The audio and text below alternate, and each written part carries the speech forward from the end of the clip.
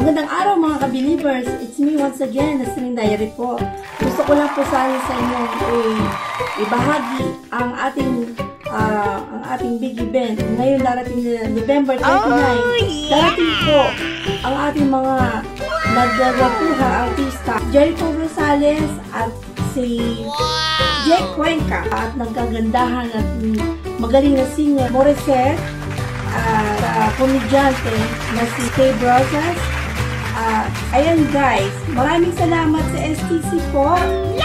STC Pay at saka sa Sun Story sa pagbibigay niyo ng magandang event na to para para po sa mga OFW. So guys, magkita-kita po tayong lahat. November 29, huwag niyo po kalimutan. See you! Ayan po mga ka-believers, mga minamahal kong OFW dito sa Saudi Arabia. Uh, kung sino mga gusto pumunta, welcome po lahat. Mag-download lang po tayo ng STC Pay at mag-transact po kayo ng isang remit nyo sa ah, online through STC Pay. At uh, yun na po ang pinaka-entrance nyo. Papasok po dun sa ating El Domo Hall at doon po gaganapin ang ating um, big event. Ito po yung nahandog ng STC Pay at ng Sunstory. Uh, maraming po salamat sa lahat ng mga bumubuo ng STC Pay at Sunstory.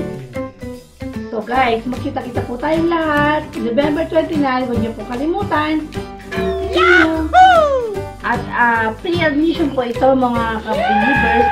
Ayan po mga ka-believers, mga minamahal kong OFW dito sa Saudi Arabia. Uh, kung sino po mga gustong pumunta, welcome po lahat. Hi to all the overseas Filipino workers in Saudi Arabia. Jake Cuenca here inviting you all on November 29, 2019 at El Domo to be part of this grandest and historical Filipino community event in celebration of the golden 50 years of friendship of Philippines and Saudi Arabia. Magkita-kita po tayo doon. Kamusta ka pamilya? This is Echo saying hello from rainy Manila. Iniimbitahan ko lahat ng overseas Filipino workers na nasa Saudi Arabia ngayon uh, para makidalo sa grandest and most historical event uh, na gaganapin sa November 29, 2019 sa El Domo, Riyadh.